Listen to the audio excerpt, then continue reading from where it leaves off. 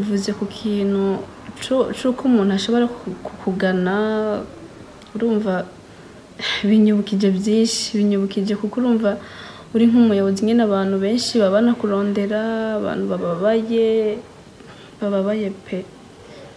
Bakandondera ababyeyi babuze icyo bagaburira abana uri abana ba- b'imfubyi uri abana benshi cyane ariko habura ikintu ndabafasha. Ariko siko bizohora. Ku bw'imana ya isirayeli siko bizohora imana izobi- izobihindura. Eh, ku bw'ibyo nari nakoze agisida. Nakoze agisida benshi bagiye bayimenya rodi desambre 2022 iyo agisida eh, yafunguye amaso. Yanyigishije uburyo ubuzima bw'umuntu ari bugufi cyane.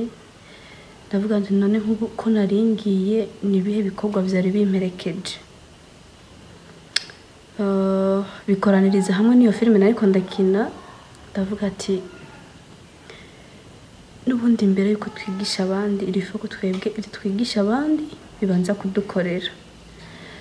Eh, byose hamwe biranzamwo biranzamwo biranzamwo mesaje iri muri iyo filime ariko ndakina uburyo kirafasha abantu. Nanjye ubwanjye ariko iramfasha ariko cyane cyane aho icyiyumviro canjemo n'igihe n'igihe nkoze agisida so rero inyuma ya agisida ni ho ese bariye? Icyo gihe nyine ukabona ni abana bababaje bashobora kuba babuze n'ikintu cyo kwambara nyine tubibonye turabafata turavuga reka tu- tubahereho. Kuko birababaje kubona nk'umwana. Ni uwo muri karitsiye si wa mwana wenda uvuga ngo aba ku gasozi aba ku muhanda ahubwo ni umwana uba mu rugo ariko ufite ibibazo kandi ubabaye. Ntabwo rero ugasanga ntago mu by'ukuri wakoze aho yashakaga gukora ariko hari undi muntu washyira icyo kintu akazarinda apfa atarakwibagirwa akazarinda apfa akigusabira umugisha. Rero gufasha nk'umubyeyi cyangwa se nk'umukristo ntabwo bisaba ibya mirenge bisaba umutima.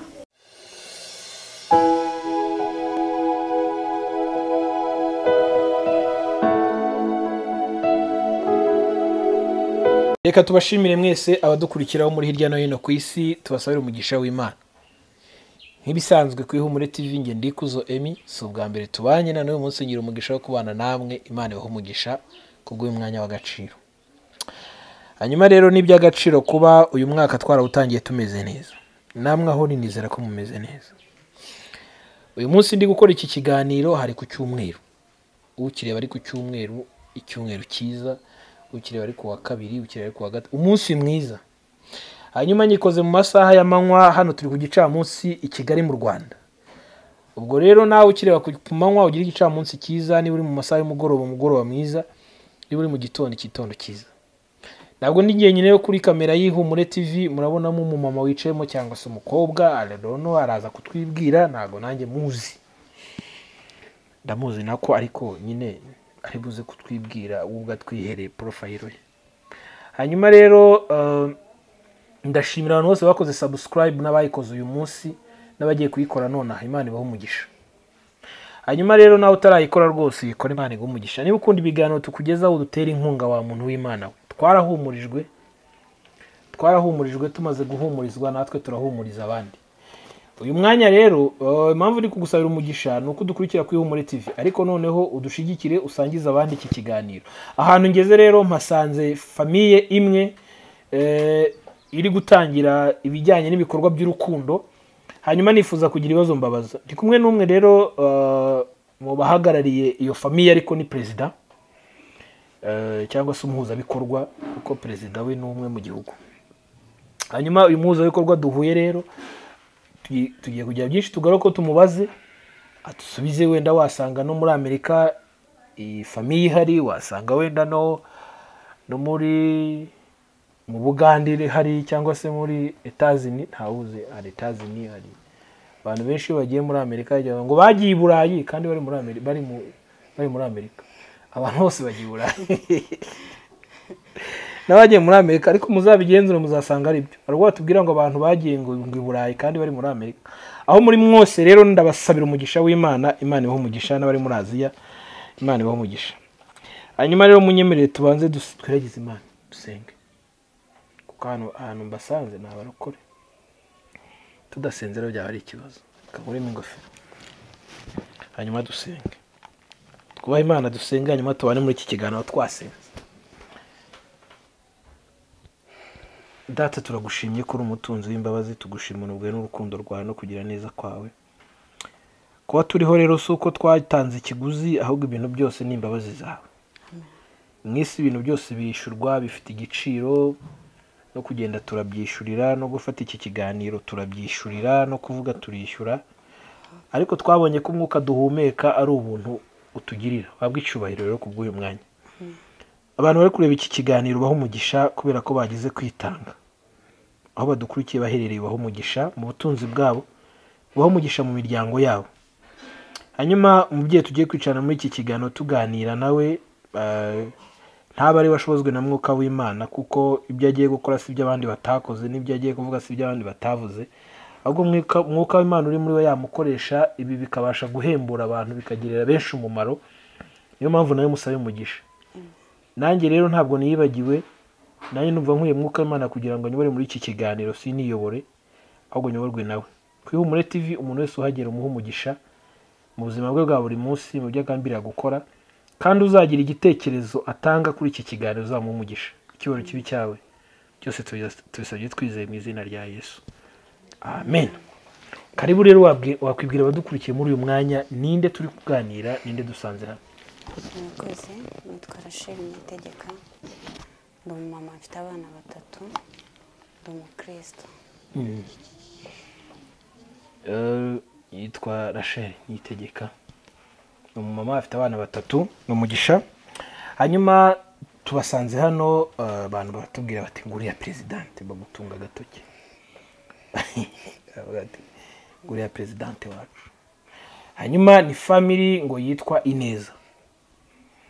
Perezida rero niba ari we viziyoneri viziyoneri ni umuntu uba waragize iyerekwa. Okay. cyangwa se niba ari uwashyizweho wenda na viziyoneri ntabwo tubizi. Byose tugiye kumenya muri iki kiganiro. Hanyuma tuze kumenya n'intego nyirizina y'uyu muryango turi buze kumva n'ibitekerezo by'abandi ba- ba- ba- banyamuryango. Karibu murakoze mu by'ukuri ndi umuyobozi wa ineza family ariko ntabwo ari njye wayifunze muri make ineza family twayishyizeho ku itariki cumi n'eshanu z'ukwa cumi na kumwe bibiri na makumyabiri na gatatu igitekerezo cyazanwe n'umudamu w'umurundikazi we afite iyi famili n'ubundi mu gihugu cyo mu burundi. Tukaba twari tuyirimo turi abanyarwanda ariko turi bakeya ariko ibikorwa tubikorera mu gihugu cyo mu burundi. Mu gihe habonetse igikorwa cyo gufasha cyangwa se cyo gutanga urukundo niko tubyita cyangwa gutanga ibyishimo ku bantu bababaye tugatanga kontribisiyo turi mu rwanda tukayohereza mu burundi. Hanyuma rero kuri iyo tariki navuze ni bwo twagize igitekerezo cyo kuba twakora na n'ineza family yo mu rwanda. Ah, turabiganiraho nk'abanyarwanda bari muri neza family hanyuma turayikora turayishinga. Mu by'ukuri ni bwo tugitangira ubu uyu munsi ni cyo gikorwa cya mbere tugiye gukora nka ineza family. Ni ibikorwa rero by'urukundo bitandukanye tuzajya dukora imana uko izajya igenda idushoboza. Iyo ineza family rero twashyizeho yo mu rwanda twari hamwe biba ngombwa ko bangira icyizere bangira umuyobozi ariko nkaba mfite n'abandi dufatanyije. Murakoze.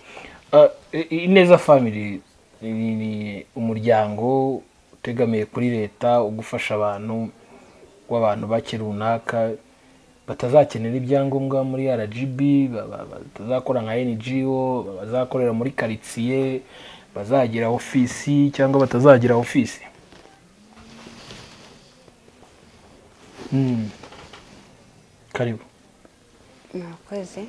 Neza family ntabwo ari umuryango ntabwo ari wowenije ni umuryango udateganya ku ku kugira ama ofisi cyangwa iki ariko uko tugenda tu- uko tuzajya tugenda twaguka ibintu byose twabikora bitewe n'abanyamuryango.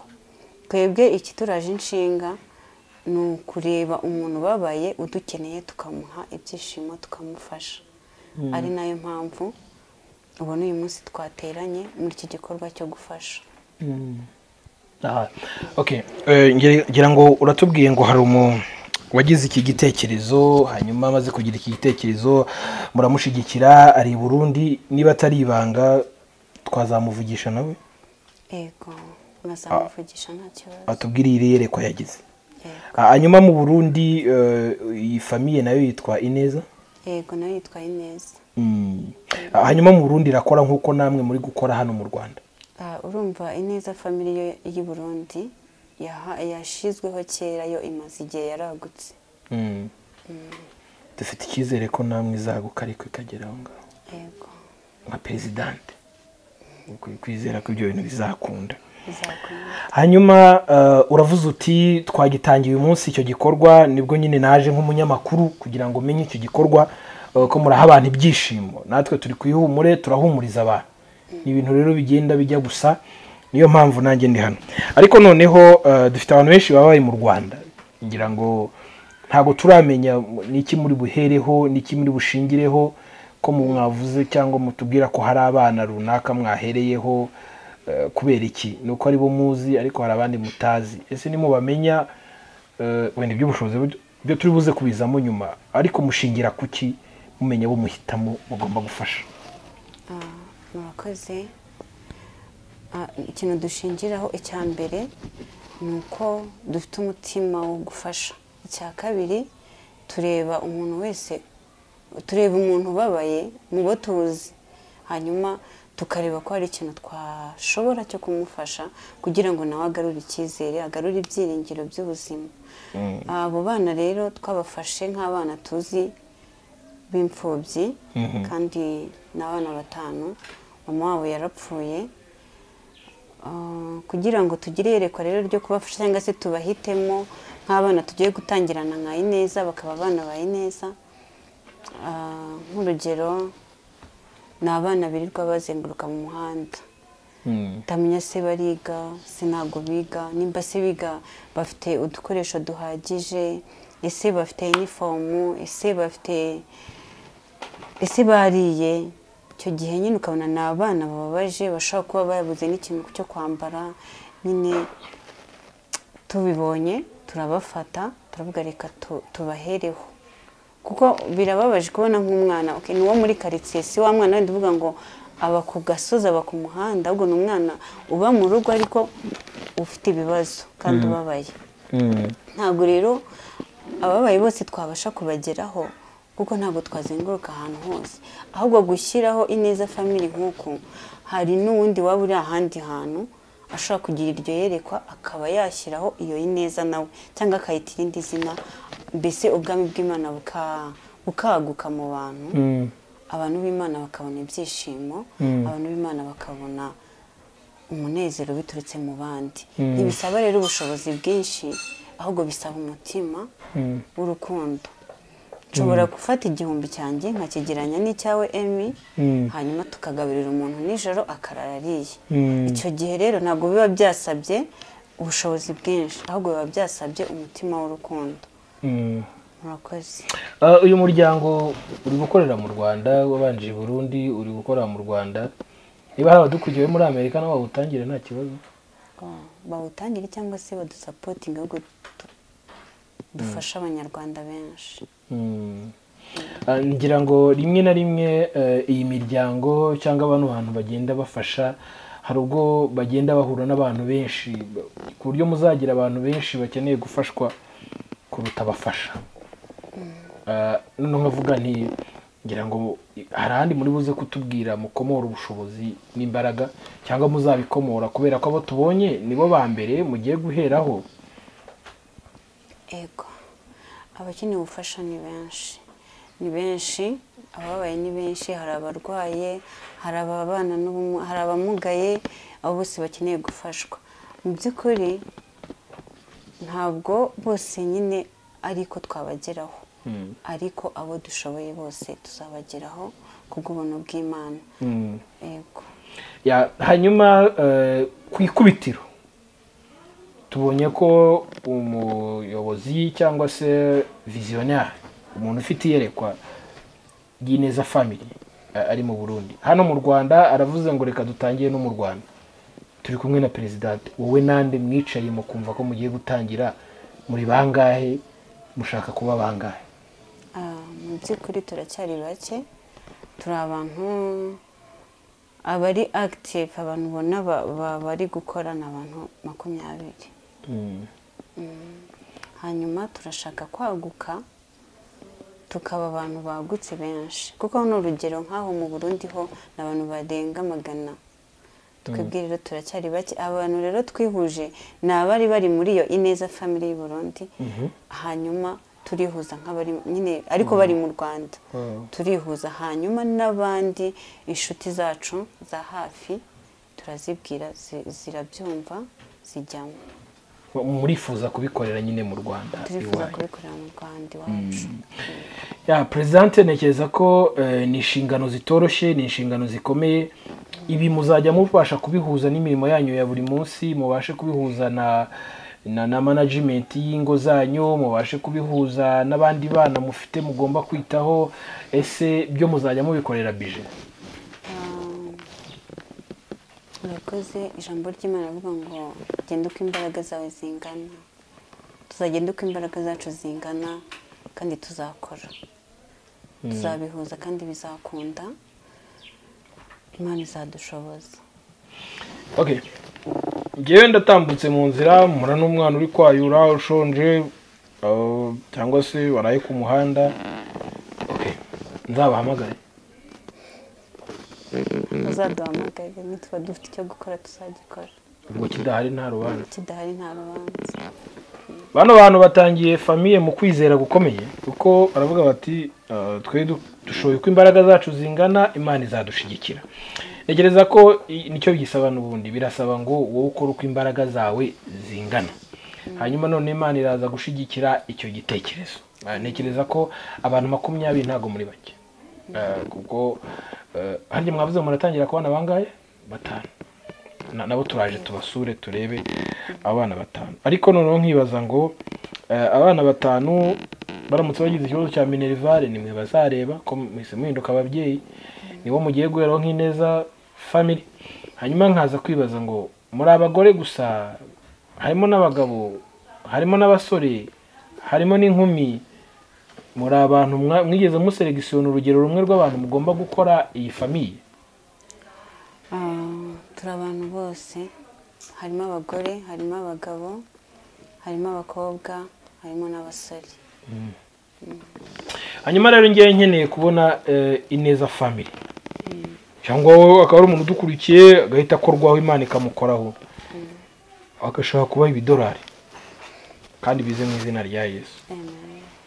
Ese azacaye ntabwo mutegekanya kugira ofisi muteganya kugira ibindi bintu ntabwo ibyo biri hafi aha. None se uyu muntu azayanyoreze kuri nimero yanjye hano manze muri cya cumi azagera hato ubundi muri make. Kujya bayampaye barabizi. Ntabwo nabaha amafaranga yuzuye nisonzeye nabanza ngakuramo make bazabaha gutenye kuba perezidanti Ah, twabaha nimero Mm, bacaho bakayandikira cyangwa se bakayihamagara mm, hanyuma tukaburiyanta nta kibazo. Mm.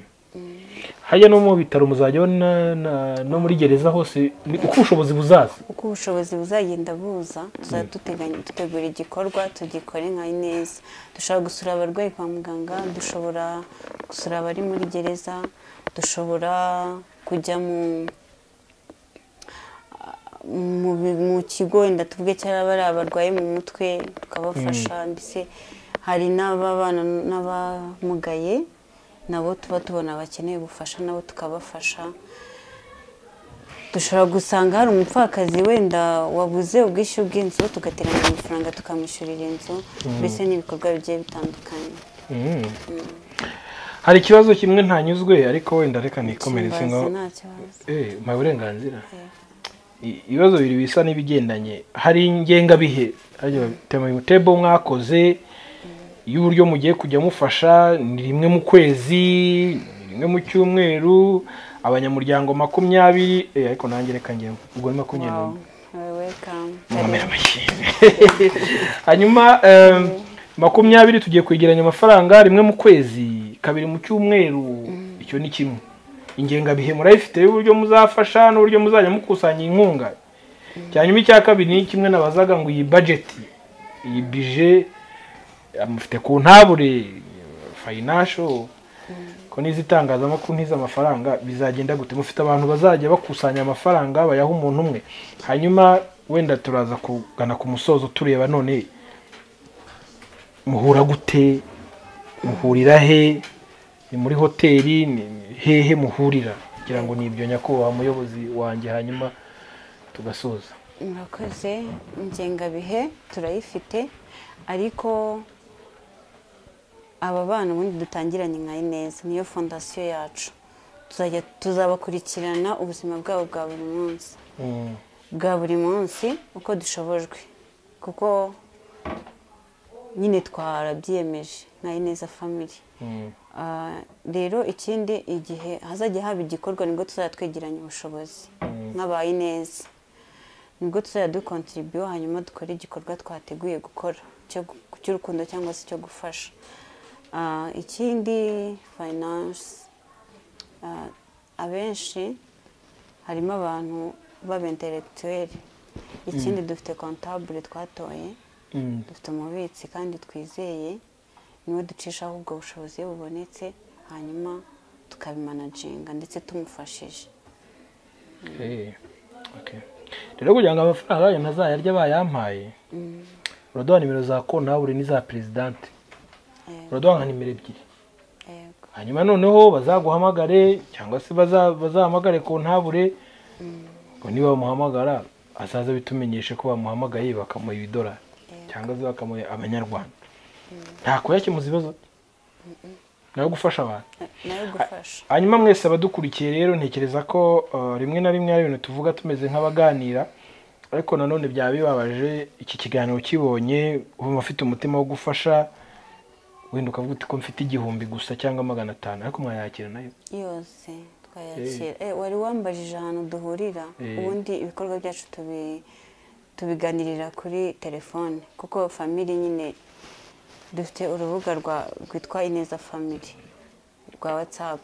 Hanyuma iyo dushaka gukora inama tutari hafi cyangwa se tutegeranye tuhuriraho tukaganira tukagira igihe noneho dupanga umunsi tugahura vizavi tukaganira.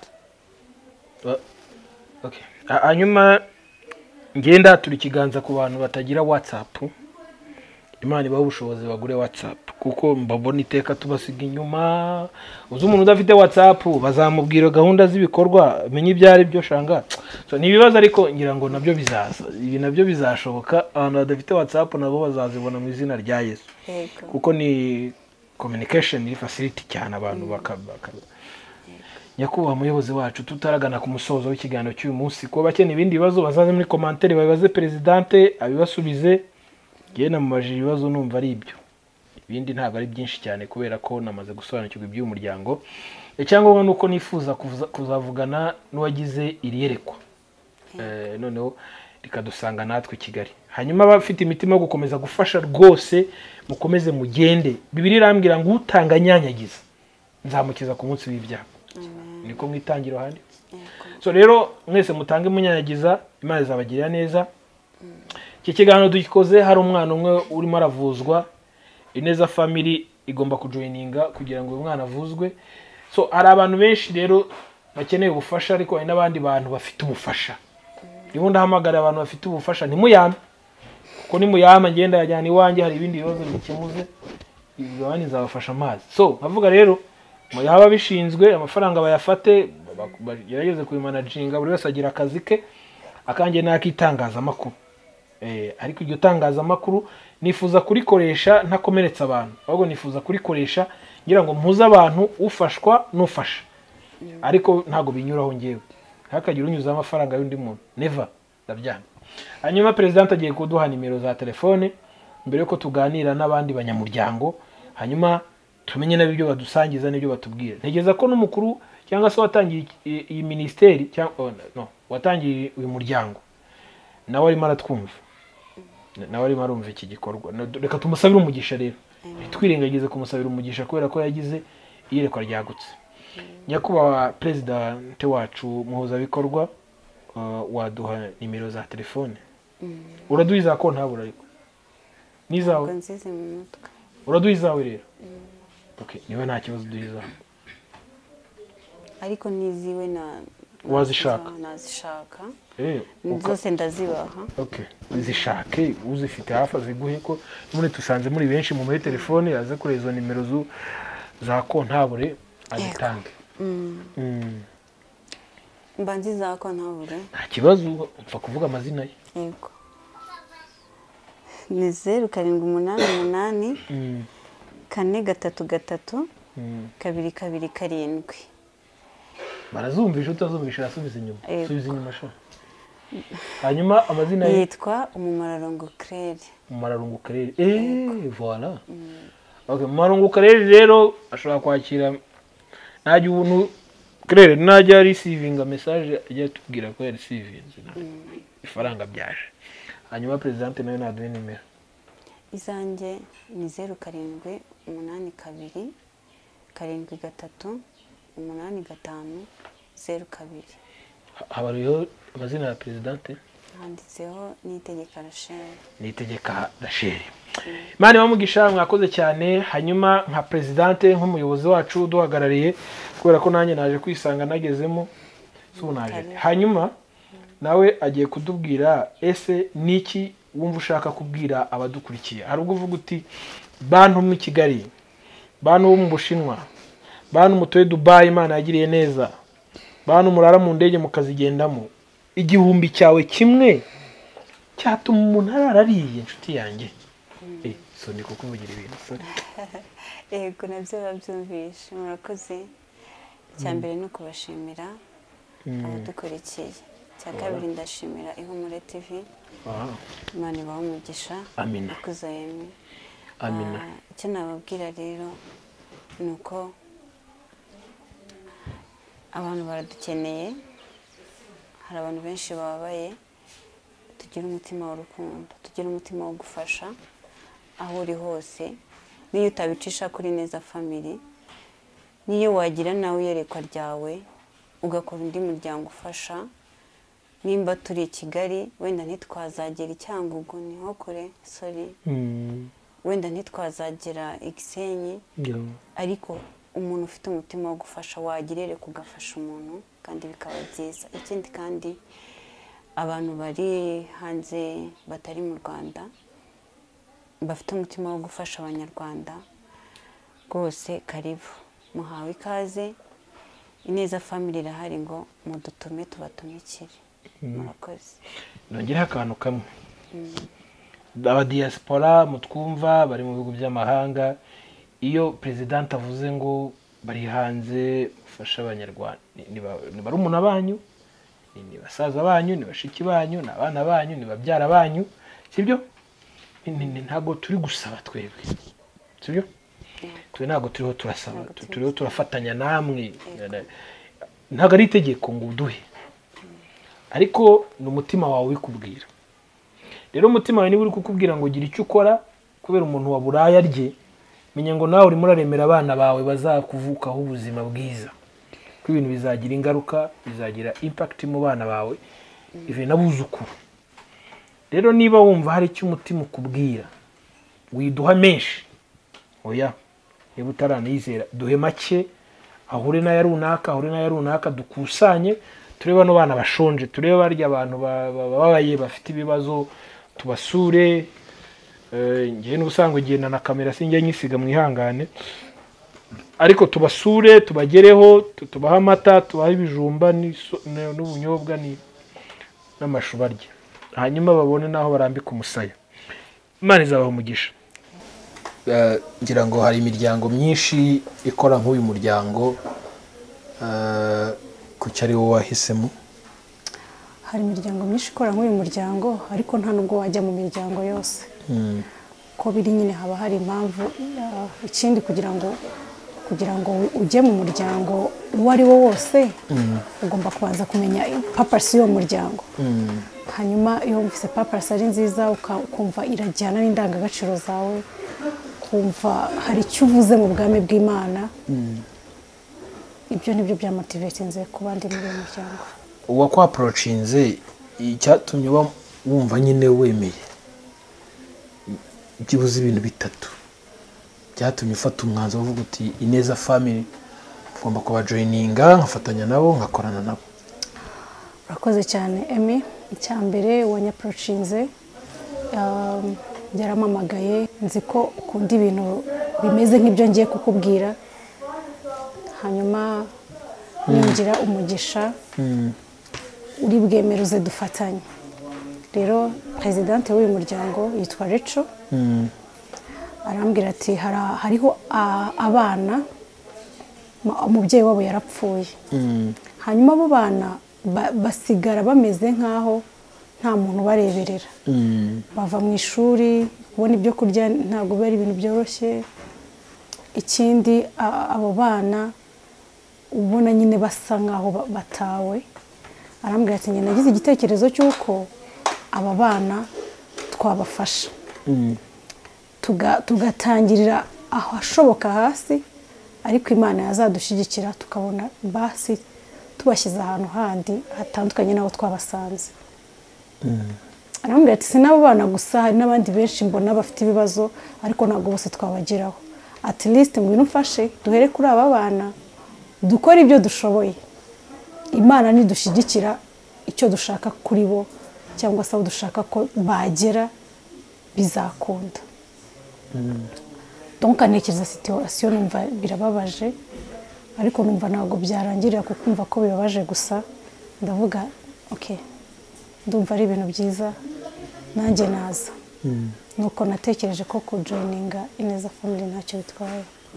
Nuko najemo ntabwo nkutindana ariko wenda abadukurikiye ba- kenshi hari ubwo bavuga ngo gufasha umutima w'abarokore abana b'imana eh, ariko nk'umubyeyi usanga gufasha ari ibyande ni ugomba gufasha. Nk'umubyeyi gufasha numva ari ibya buri wese. Ubundi nta n'umuntu utafasha. Kubera ko um, ibito byawe hari undi muntu utabifite. Ibyinshi byawe hari undi muntu utabifite. Uyu munsi ufite magana atanu hari undi muntu udafite n'ijana. Rero hari ikintu bita ngo sharing is caring. Iyo usharinze iyo hari ikintu kiba kikuvuyeho hari n'icyo kijya kumara. Hanyuma uwo muntu hari ijambo ry'imana rivuga ngo gutanga bihesha umugisha kuruta guhabwa. Rero iyo utanze iyo ufashije cyane cyane iyo ukoze ahantu imana ishaka. Iyo ufashije ku muntu wari ubikeneye cyane. Ushobora gufata umufuka w'umuceri ukajya gusura umuntu. Ugasanga we afite n'ibirenze uwo mufuka w'umuceri amushyire. Sometimes akanavuga ati uyu muntu wanzaniye tayilandi ntarya tayilandi uyu muntu wanzaniye ibishyimbo by'ibigugu kandi ngewe ndya shyushya ugasanga ari- ntago mu by'ukuri wakoze aho yashakaga gukora ariko hari undi muntu washyira icyo kintu akazarinda apfa atarakwibagirwa akazarinda apfa akigusabira umugisha. Rero gufasha nk'umubyeyi cyangwa se nk'umukristo ntabwo bisaba ibya mirenge bisaba umutima. Ya, ikibazo cya nyuma hanyuma nkureke nk'umubyeyi wigire mu zindi nshingano. Eh, social media cyane youtube eh, ntekereza ko abantu benshi bayoboriwe n'ibibazo. Hari imiryango myinshi yagiye ivuka eh, igaca ku ma social media bakabasaba bagasaba sapoti bamwe bakamenya ko bayariye abandi bayashyize mu bikorwa byabo umuntu bakamuha miliyoni icumi agatanga miliyoni ebyiri icyenda akaza kuzubakamo inzu. Ngira ngo ibyo byaravuzwe cyane. Niyo ni- ni- niyo platform turiho njye nawe nonaha uyu munsi. Abadukurikiye eh, benshi bakomerekeye muri ibyo ngibyo. Kiza umugisha wo kuganira n'umubyeyi kandi w'umunyabwenge utari umuswa eh, kandi uzi ko ibyo byabayeho. Akavuga ati ndiho ndevita ko ibi bizongera kuba kubera aho twifuza kujya. Ndashaka kumenya uruhande rwawe kubera ko uyu munsi turiho turabwira abantu ko ineza family yashyize ku mugaragaro iki gikorwa igiye kwinjiramo bigiye gutangira gukora igahera no kuri aba bana sibyo ariko niba hari umuntu uzakenera kujoyininga ah, iyi neza family. Uramumara impungenge gute ushingiye cyangwa ufite fagite z'ibyo byose byagiye bikorwa hanyuma nkureke. Nk'uko wabivuze wambajije uti kuki wahisemo uyu muryango kandi hari imiryango myinshi? Ah, icya mbere ni ukubanza kureba ngo abo uyu muntu afite iyihe ntumbero? Ikindi ibintu bitangira ari bitoya akenshi birangira bibaye binini. Ni- ni gakeya ibintu byatangiye ari binini hari igihe simvuze ko ari bibi ariko ni umugisha kuba dutangiye turi bato cyangwa se bisa nkaho ari bito. Ikindi ku cyo warumbaje kijyanye n'abantu bashobora kurya amafaranga y'imfubyi amafaranga y'abapfakazi ibyo biterwa n'umutima. Ntabwo waza ngo uvuge ngo uko mbona emi ntabwo yarya amafaranga y'imfubyi. Ariko emi we ubwo ashobora guhagarara akavuga ngo ntabwo narya amafaranga y'imfubyi. Icyo emi avuga ahamanya n'umutima n'umwuka wera uba muri we. Nicyo kuri. Kuko twebwe ntabwo dufite ubushobozi bwo kureba inyuma inyuma ya kame inyuma y'umutima mu mutima imbere tureba ibyo akora. So numva nta nta nta ibyo duhamya twe niba uyu munsi mu gutangira wenda si n'ubwa mbere abantu ba- bakoze ibikorwa by'urukundo si uyu munsi umuntu abyiga kubikora akenshi tunabikora tudafite na sapoti tubikora tudafite sapoti ari ya senkisi ubitse ku byo wari ugiye guhaha ukareba ko yazagwira akaba nka bibiri akaba yagurira undi muntu ikiro cy'umuceri. Rero niba ubasha kubikora nta sapoti wabonye ntiwirye cyangwa se ntiwiyibe wakwiba sapoti ikindi umutima wo gufasha iyo uri muri wowe utandukanye cyane n'umutima wo gushaka kwifasha. Ntabwo turi hano kugira ngo twifashe. Turi hano kugira ngo dufashe. Ikindi ubwami bw'imana buragutse. Bukorerwamo ibintu bitandukanye. Imana iduhaye iyi puratifomu cyangwa se uyu murongo. Mu by'ukuri ntabwo twumva ko duteze cyane kuri sapoti pe. Ntabwo twumva ko twebwe ubwacu dushatse twavuga ngo turahagije. Kubera ko hahagije umutima uri muri twe. Hanyuma sapoti ije bishobora kuba beta sibyo? Bishobora kuba beta ariko itanaje tuzakora uko imbaraga zacu zingana. Urakoze cyane. Imana umugisha hanyuma mbere yuko nkurekura hari ubutumwa bwawe wagenera abadukurikiye? Ubutumwa bwanjye nagenera abadukurikiye icya mbere ni ukubashimira abantu bakunda ihumure tv kubera ko iyo muba mutabikundanye ntabwo n'ibintu muba mubibonye. Tunashimira we emi kubw'umurimo ukora. Ikindi ni ukubwira umuntu waba wifuza kujoyininga ineza family ko ahawe ikaze. Imiryango irakinguye wumva ufite umutima wo gufasha kwitangira abandi bantu umutima w'urukundo uhawe ikaze. Nibaza ko wenda n'umuyobozi aza kubivuga kundusha uko njye nabivuga. Ni nawe ufite neza mapu yabisobanura kurusha uko njye nabisobanura. Ariko ubu icyo turaje ishinga ni ukwita kuri bariya bantu. Kandi imana izadushyigikira izanaduha uburyo nubwo bisa nk'ibigoranye ariko bizakunda mu izina rya Yesu. Amen. Watangira wibwira abadukurikiye muri uyu mwanya witwa nde? Murakoze cyane nitwa eme hirwa. Emehirwa nkaba ndi umusore. Uri umusore. Ariko witegura vuba kuba yabiva vuba aha gatoya mfite ubukwe. Ah itariki makumyabiri n'eshatu kuwa gatatu. Wow. Ni ukuvuga ni mu kwezi gutaha. Ushatse wanadutumira ni ukuri kw'imana batumiye Eh, humure tv muzaze. Tubane mu bukwe bwacu. Ubukwe bwe buzabera muri ararume rero ndaza kubasomera invitasiyo nimutivumbura nanjye ni ntativumbura ndaza kubasomera invitasiyo ubukwe bwe buzabera muri ararume mwese abadukurikiye muzaze. Mujye mushyigikira abandi bana dore natwe imana izatugirira neza kubera ko twashyigikiye abandi. Hanyuma tugusanze mu gikorwa cyo kuba bafungura uyu muryango witwa ineza family. Bivuze iki kuri wowe? Murakoze cyane. Icya mbere ndi umwe mu bayobozi ba ineza family. Ndi visi perezida ineza family ni umuryango twakoze cyangwa se twashinze ufasha abantu mu bikorwa bitandukanye. Yaba abana bafite ibibazo ndetse n'abandi bantu bafite ibibazo bitandukanye.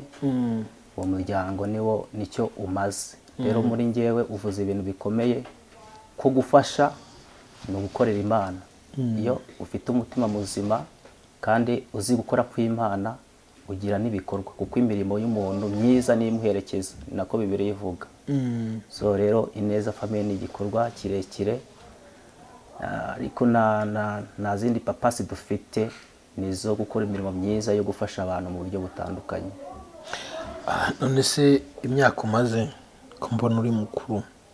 Eh, ndi mukuru cyane. Ubu se nta yindi miryango wigeze wumva ineza family wumvishe cyangwa hari indi urimo? Cyangwa ni uko bakugize visi perezida muvandi Um, nta yindi ndimwo. Bo umuntu aba afite ibikorwa byinshi bitandukanye yaba we ku giti cyiwe n'abandi bantu wenda ngubu ngubu ushobora kugera nkabwira mugenzi wanjye ati tujye gufasha uriya muntu na byo bikaba ari ibikorwa. Ariko nta wundi muryango uri mu buryo bugaragara ndimwo ufite bino bikorwa ineza family ifite. Ah, nk'umwe mu bayobozi ba- bagize eh, uyu muryango witwa ineza family Eh, ibikorwa mufite mwatangiye guteganya muzakora ni ibihe? Kubera ko turifuza kumenya murava he murajya he murakoze cyane. Neza family hano ntabwo tumaze n'iminsi myinshi cyane tunatangiye twatangiye uyu muryango mu kwa cumi na kumwe kuri uyu mwaka watambutse. Bivuze ngo ubu ngubu umaze hafi amezi nk'abiri. Rero tugiye gutangira ku gikorwa cyo gufasha abana b'imfubyi nk'uko mugenzi wanjye yahoze abivuga ariko dufite n'ibindi bikorwa imbere yacu twenda gukora.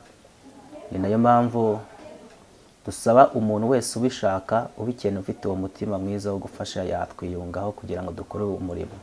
Urumva dutangire ku bana ejo dushobora no kureba undi muntu wenda ufite ikibazo runaka cyangwa se tukajya kwa muganga tugafasha abantu ko kwa muganga haba hari abantu baba badafite abarwaza kandi bakeneye kwitabwaho n'abandi.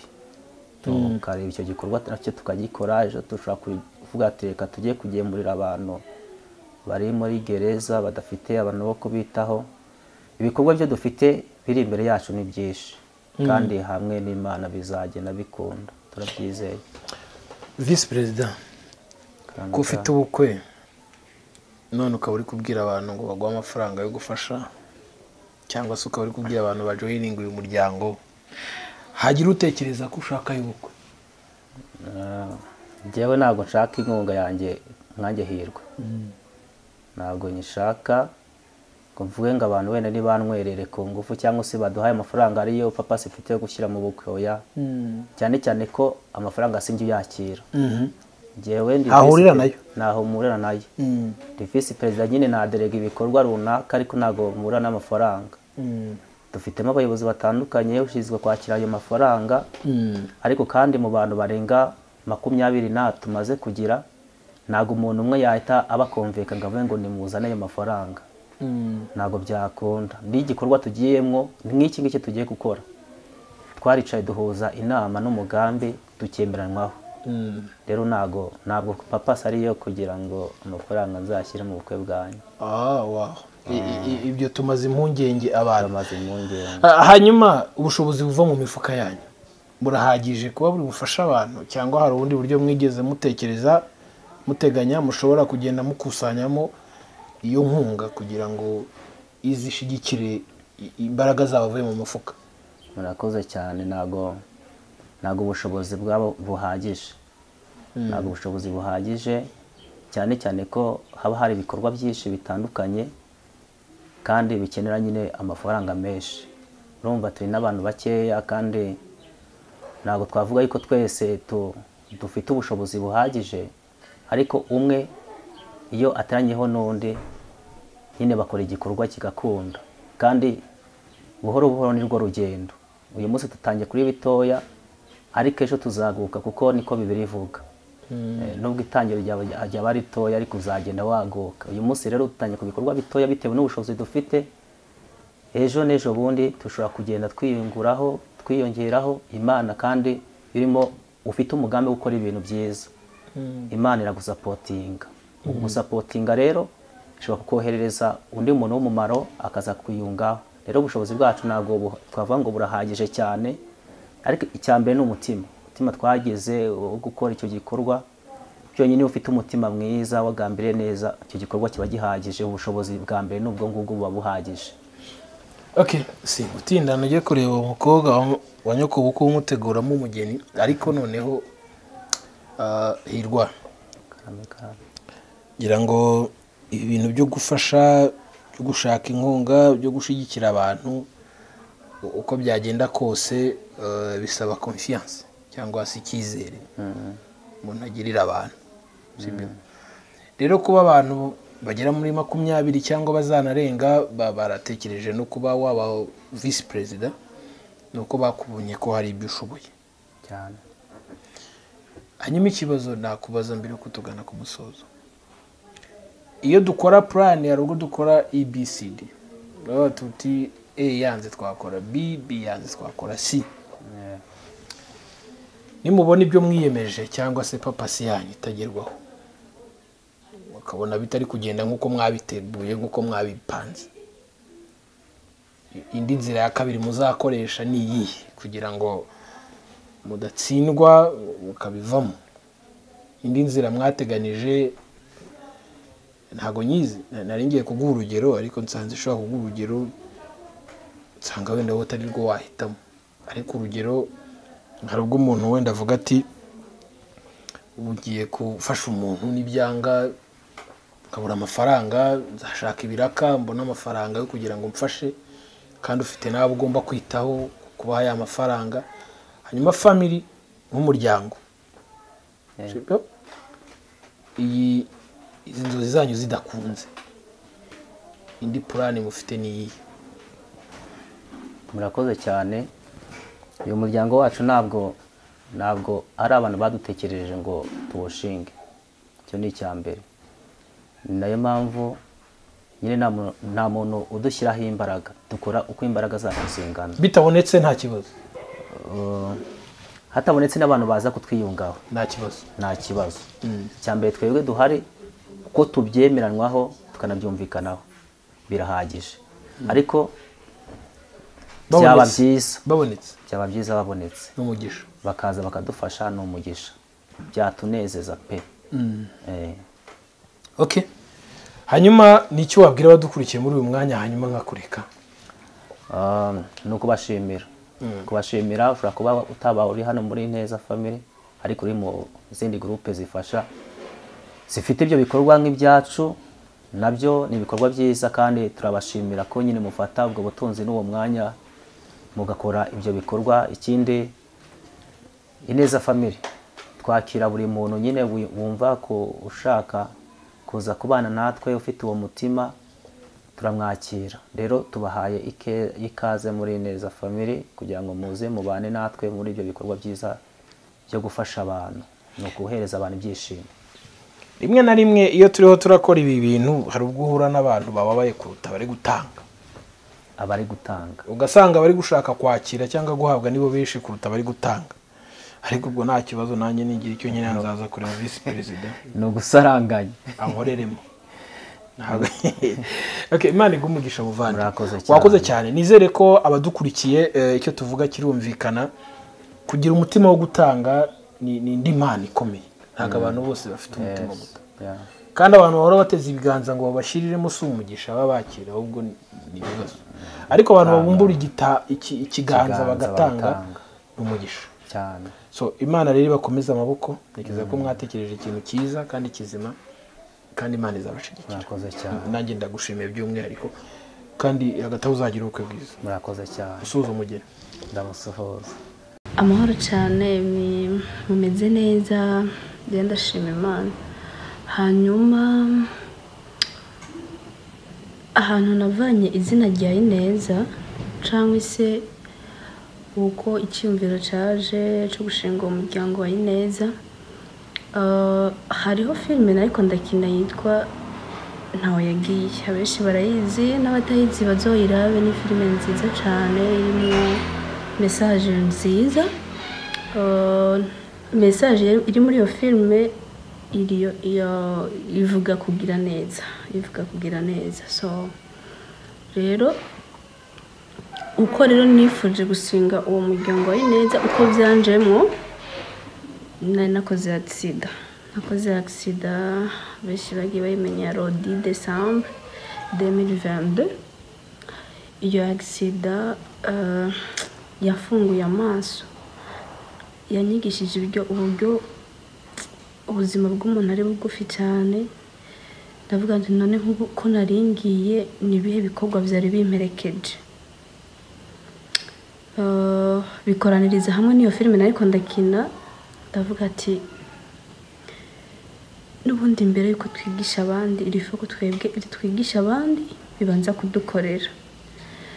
Uh, byose hamwe biranzamo biranzamo biranzamo mesaje iri muri iyo filime ariko ndakina uburyo kirafasha abantu. Nanjye ubwanjye ariko iramfasha ariko cyane cyane aho icyiyumviro cyanjemo n'igihe n'igihe nkoze agisida rero inyuma ya agisida ni ho hari abakunzi banje bariko barambwira ati umwe akanyandikira mimi ndashaka ko tubonana ndashaka kukubona n'uyundi so ndavuga ati rero nta mpamvu y'uko umuntu yakwifuza kumbona hanyuma mbona bishoboka ngo ntambone. Ariko n'ubundi kubonana n'umuntu wese nabona yuko bitoroshe. Ni bwo rero naciye nkereya gurupe uwunyandikiye uko nkamushyira muri gurupe nkamushyira muri gurupe hama ntegura umunsi wo kubonana nabo bose. Uwo munsi twateguye turabonana ibintu biryoshye turasangira. So nyuma yaho ni ho nari mbere y'uko uwo munsi ugera ni ho niyumvira ati none aba bantu ko bankunda? Nta kuntu nababwira tugafatikanya umurimo w'imana tugaza turaraba abantu mu bitaro abantu bamerewe nabi. Tikumbure jewe shobora kuba ata buryo mfise ariko nkafise nk'amafaranga amajana atanu uyundi akagira amajana atanu kikaba igihumbi. Tugishyize hamwe cogura agafu umuntu imfuvyi karaririye cyangwa umupfakazi akaraririye cyangwa uwundi wese. Adafite icyo afungura ugasanga tumuremeye ijoro cyangwa tumuremeye umunsi arafunguye abonye ineza y'imana biciye muri twebwe. Rero ibyo bimaze kunzamu ni bwo nabishikiriza abo ba- abo bavukanye uwo munsi duhura. Ah, ndavuga ati none mubona gute? Dufatikanya iki gikorwa? Kuko n'ubundi ku- kuguma turi muri rya gurupe turashyiramo amalinka amagurupe yo gushyiramo amalinka arahari. Twanayakereya n'ayandi ariko byibura tu- tugire akantu k'umwihariko tugire gurupe ifise intumbero. Ifise intumbero kandi ifise uh, imana ifisemo inyungu. Izina rero ukuntu ryaje ryavuye muri iyo filime uh, nariko ndakina. Hore nariko ndakina yari hore yo, ku- yo, ku- yo kugenda. Imana nyine inkoresha inkoresha nkagirira neza abandi. Hanyuma ya neza imana inkoresheje ikangarukako ikantabara ngeze mu bibazo. Ya. Niho rero iryo zina ryanjemo numva ati rero uyu muryango rero tuca tuyita iyo gurupe tuca tuyita ineza. Hanyuma ati none irindi jambo iyi family yoyo. Hari ineza hariho ineza foundation. Hariho neza ya gahongayire hariho nayigira neza yo kwa pasita mutesi. Ndavuga ati none ndayite ineza ndi. Numva nyine binje mwuko ngo ni ndayite ineza family. Ya nuko iryo zina ryaje. Murakoze. Murakoze hanyuma kubera yuko nyine abantu bo gufashwa aba ari benshi cyane. Aba ari benshi rero icyo niyumvira uburyo nyine dushobora kubikora eh, icya mbere hari ijambo ngendera ko rivuga ngo abarongorwa na mpwemu yera nibo bana b'imana. Ni ukuvuga yuko nabona yuko tuzosenga imana aho izo dutuma ni ho tuzogenda uwizo dutuma ko ni we tuzogenda. Ko n'imbere yuko tujya gukora ibyo bikorwa turabanza tugasenga. Turabanza tugasenga tugahurira hamwe tugasenga. Muri uko gusenga rero nyine navuga ngo ni imana iturongora.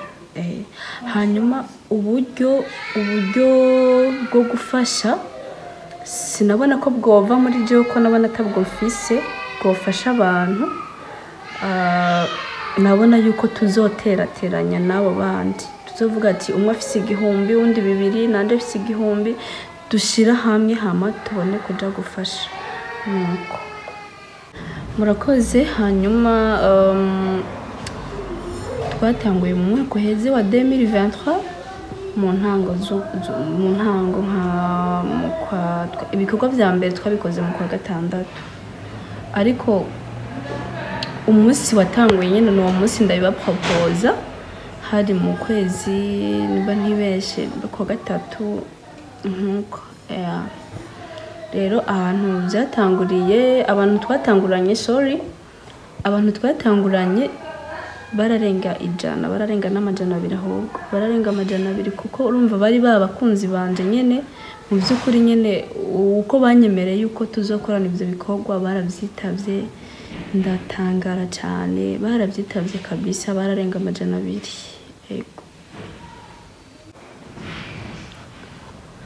Ah, murakoze. Hanyuma uh, challenge ntizishobora kubura. Igihe cyose uri mu murimo w'imana ntushobora kubura ibintu bikurwanya niyo mpamvu igihe cyose ugiye guhaguruka ngo ugiye gukorera imana uhaguruke kandi uzi neza yuko uzohuriramo n'ibibazo. Kuko iyo uhagurutse uzi ko atabibazo muzohuriramo na byo ni hahandi ugera hagati ukananirwa hamo ukabivamo. Ariko iyo uhagurutse warateguye umutima muri icyo gihe ibiza byose biragukomeza ntibigusenya ahubwo biragukomeza. So rero nanjye navuga yuko nahuyemo n'ibibazo byinshi cyane numva bitari ngombwa ko mvuga Uh, kandi n'ubu ngikomeje guhuramo na byo kuko satani ntashobora kubura kuturwanya kuko ibyo dukora ntibimubabaza ntibimusubiza hasi ntibimu ntibimusubiza hasi. Tuba turi ko turagwanya ubwami bwiwe. So rero niyo mpamvu tubikora tuzi neza ko satani adashobora kureka kuturwanya ya rero imbogamizi cyangwa se narazi- narahuye na zo niwo mpura na zo ariko muri ibyo byose nahagurutse nariteguye narateguye n'umutima wanje. Nabwiye umutima wanje ugomba gukomera uhagurutse gukorera imana ugomba gukomera ukemera ibintu byose muzohuriraho na byo. So rero izo mbogamizi zose nagiye mpura na zo navuga yuko zigenda zinkomeza ntizinsenya. Nuko numva nocishura Eh, nibaza yuko ibindi tuzagenda tubiganirako. Hanyuma kwandikwa no mu mategeko kuba twaranditse ineza family mu mu- muri leta ntiturayandikisha kuko ni ibikorwa dukora tutiteza inyungu ni ibikorwa dukora byo gufasha byo gutabara. Ariko iyo tugiye kubi- kubikora iyo tugiye kubikora ko tuba turi abantu benshi turabimenyesha. Turabimenyesha ubuyobozi tukavuga duti tuzogenda gufasha rero cyane cyane nk'ababa ababa batwara aho hantu tugiye gukorera turabibamenyesha hanyuma bakatwemera bakatubwira ati nta kibazo. Kugira ngo nyine ntihagire ibibazo bivukamwo so rero ni uko bimeze ariko na byo ntawomenya. Mu minsi iri imbere dushobora kubikora tukayandikisha kugira ngo ibeho izwi. So ikindi oh, ku mwanya umwanya umwanya oleya time table nawe ukuntu uburyo tubikora uh, turavuga tuti nimba turiko turakora nko muri ku kwezi. Par exemple nk'ubu uye ineza family y'ino mu burundi turiko turitegurira ibikorwa vyo kuja gufasha muri uku kwa- gatatu. Nk'ubu twavyiteguriye guhera mu kwa mbere. Turiha nk'amezi nk'abiri imbere kubera yuko amafaranga aragoye bisaba kwiha umwanya bisaba bisaba nyine kwitegura. So rero iyo dutangaje igikorwa tuca twiha umwanya wo kurondera hanyuma tukiha n'igihe tukavuga duti nimba inyuma y'amezi abiri tuzokora kino gikorwa. So nuko tubikora turiha nk'amezi abiri yava kugira ngo turondere then hama dukore ico gikorwa. Nuko tubigenza. Uh, murakoze hanyuma mm, aho duhurira ahambere ni muri groupe dufite groupe ya whatsapp duhuriramwo. Ni naho tuganiriramwo ibyinshi nyine biba bitwerekeye by'ibyo bikorwa. Hanyuma ubundi buryo nabwo duhuramwo ni igihe tugiye gukora ibyo bikorwa turahura tu- mu gihe twa- twagiye kubikora turafata akanya kuganira. Ubundi buryo nabwo duhuramwo kubera yuko nyine ntituratera imbere ngo tugire nta nta ntabyo dufise turacara abantu nyine b'abana bari aho. Duhora dutegura amasengesho. Iyo twateguye amasengesho ndagenda nkasaba church hanyuma tu- tukagenda tugahura tugasenga. Nibwo buryo duhuramo kabisa. Nta bundi buryo du- duhuramo kuko eh, nta sare dufite duhuriramo. Sare kugira ngo uyihuriremo n'abantu urayishyura. Ni byinshi nyine ni byinshi tutaragera ko ariko nizera neza yuko imana izogenda ibitugeza ko hanyuma mu ntara naho oya ntiturashikayo kuko ibyo nifuza sinifuza yuko tuzokwama nyine tu- dukora ari uko turinze kubwira twiyegeranije nk'abantu. Saba imana yuko yompezagira ikampa umugisha kugira ngo nyine no mu ntara eh, nahishikeyo. Ntarinze kubwira abantu ngo ni ngo nimuze duteranye ngo twisope. Ahubwo nanjye mbikora ku giti canje nkagenda nyine no mu ntara. Ariko nizera neza ko byose bizokunda kuko uh, n'iyi neza ya bujumbura iyi neza y- y'u Burundi. Turavanganye hari abari mu ntara hari abari bujumbura twese tugahurira muri groupe kandi twese tugakora. So rero kwiyumvira yuko iri no mu ntara mu ntara ntirashikayo na byo ariko imana izobitugezako kuko byose ni mu nyungu yayo. Murakoze. shayemi nta baterankunga turaronka. Nta baterankunga turaronka. Uvuze ku kintu c'uko umuntu ashobora ku- kukugana urumva binyibukije byinshi binyibukije kuko urumva uri nk'umuyobozi nyine abantu benshi baba banakurondera abantu bababaye bababaye pe.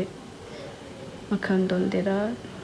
Ababyeyi babuze icyo bagaburira abana uri abana ba- b'imfubyi uri abana benshi cyane ariko habura ikintu ndabafasha. Ariko siko bizohora.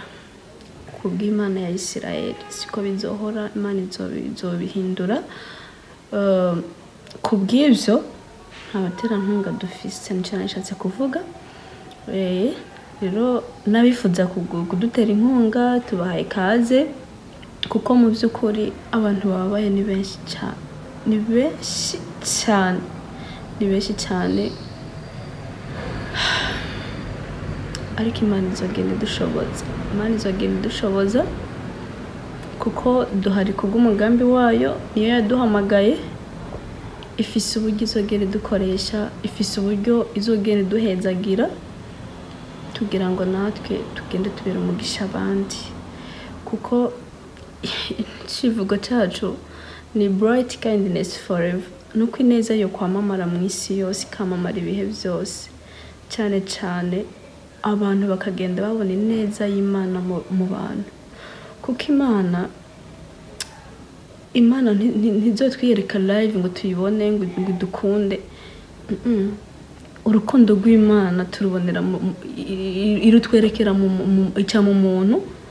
Umuntu akagukunda umuntu akakwereka umutima w'impuhwe umuntu akakugirira neza ari imana yabimushyizemo ni ukuvuga yuko rero uh, imana igenda idufasha n'abatarabitahura bitahure tubeho nyine tuvuga duti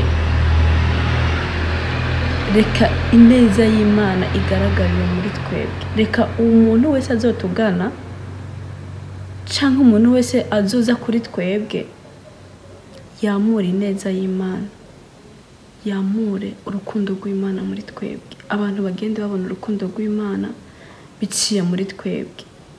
Rero na yo ineza twifuza ko abantu bazogenda babona urukundo rw'imana biciye muri neza family.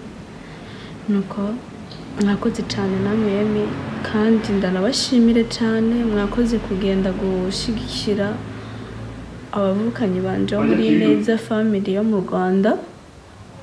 Mwakoze imana mu ijoro ibaho umugisha nifuje kuza biranka ariko mwarakoze kuhaba mwarakoze kuhaba. Ndabashimira cyane nshimira n'abarongozi ba ineza family. Bose mpereye ku murongozi reco bose bose bose ba claire ba ba chance ba remy ba pase ba higwa bose abarongozi bose bumve ko umutima wanjye bashimiye abayineza family mu rwanda mwumve ko ndabakunda muri nkoramutima zanje ubundi abankunda. Nababwiye ngo munkundire imana kandi muze dukorera imana. Rero urukundo mu nkunda rwarampamirije rwaje rumpamiriza yuko munkunda mu by'ukuri kubera yuko mwaremeye turafatikanya umurimo w'imana. Ndabakunda kandi kubakunda kwanje. Ndumva ari devuwari ni nk'ideni ndabafitiye. Kandi nzoheza kuryishyura ariko mvuye muri uwo mubiri. Imana ikomeze ibakoreshe iby'ubutwari imana ikomeze ibambika imbaraga. Umurimo muri murakora ntiworoshye ni umurimo usaba kwitanga ni umurimo usaba kwihangana ni umurimo usaba kwigomba rero ariko iyo abahamagaye niyo kwizerwa kandi yatanguje igikorwa cyiza muri mwebwe inzona gisozera. Icyo nabasabira abayineza bose abo mu rwanda n'abo mu burundi ni uko twakorera imana imitima yacu yejejwe imitima yacu itunganye kugira ngo kuyikorera kwacu kugira ikimazi kinini. Kuko icyo ndabifuriza ndabifuza yuko ibikorwa mukorera hano mu isi ntibizibagirana ahubwo biza bugwibutsa imbere y'imana. Na hanyuma y'ubu buzima tuzokwibanire hanyuma data azoduhemba mukomere. Ndabakunda. God bless you. Reka rero nshimire umuyobozi wacu yakoze cyane imana imumugisha hanyuma nanjye munshimire. Nakoze kubera ko nicaye kuri kamera nkanavuga byose nabikoze. Ntekereza ko nanjye ibi ngibi ndi gukora si byo nirata. Ahubwo ni amahirwe mbonye yo kugira nanjye ibyo ngomba gukora. Nufasha umuntu ntukishimire ko ufashije umuntu benda batubwira ngo gutanga ni umugisha. Ahubwo uzamenye ko ugiriwe ubuntu bwo kuba uwo muntu umuhaye kuko ejo si ahacu. Usanga abantu bari kuryana bari gupfa ibyo base basize isoko yabisize se. So imana ibamugisha murakoze cyane ndabashimiye. Njye ndikuzo emi nk'ibisanzwe ni kwihumure tv aho hasi hari nimero zanjye uramutse ukize igitekerezo ushobora kumpamagara cyangwa ukanyandikira. Hanyuma iki kiganiro nukibona ujye muri komanteri uduhe igitekerezo ubabwire uti ndabashigikiye gutya na gutya. Ntukarebe ikiganiro gutya gifite imbaraga nk'izi ngo wicecekere. Reka rero tuganire n'abandi bafatanyabikorwa cyangwa se abanyamuryango ba ineza family twumve nabo uburyo bakiriye iki gitekerezo. Hanyuma perezida imana igumugisha wakoze cyane. Wakwigira mu yindi mirimo yawe.